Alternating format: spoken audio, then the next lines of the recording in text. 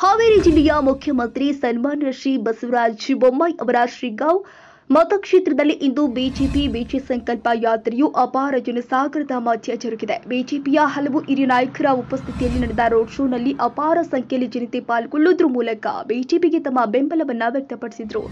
ಅಥಣಿ ಮತಕ್ಷೇತ್ರದ ಜನಮನದ ಜನಪ್ರಿಯ ನಾಯಕರು, ಮಾಜಿ ಉಪಮುಖ್ಯಮಂತ್ರಿಗಳು, ಬಿಜೆಪಿ ರಾಜ್ಯ ಉಪಾಧ್ಯಕ್ಷರು ವಿಧಾನ ಪರಿಷತ್ ಸದಸ್ಯರು ಆದ ಸನ್ಮಾನ್ಯ ಶ್ರೀ ಲಕ್ಷ್ಮಣ ಸಂಗಪ್ಪ ಸವದಿ ಅವರು ಪಾಲ್ಗೊಂಡು ಬಿಜೆಪಿ ಬೆಂಬಲಿಸಲು ಜನರಲ್ಲಿ ಮನವಿ ಮಾಡಿದರು. ಇನ್ನು ಸಚಿವರು ಆದ CC Patil BC Patil, BJP ರಾಷ್ಟ್ರೀಯ ಪ್ರಧಾನ ಕಾರ್ಯದರ್ಶಿ ಸಿಟಿ ರವಿ ಹಾಗೂ ಬಿಜೆಪಿ ಹಲವಾರು ಪ್ರಮುಖ ನಾಯಕರು, ಚುನಾಯಿತ ಪ್ರತಿನಿಧಿಗಳು, ಪಕ್ಷದ ಕಾರ್ಯಕರ್ತರು ಮತಕ್ಷೇತ್ರದ ಜನತೆ ಪಾಲ್ಗೊಂಡಿದ್ದರು.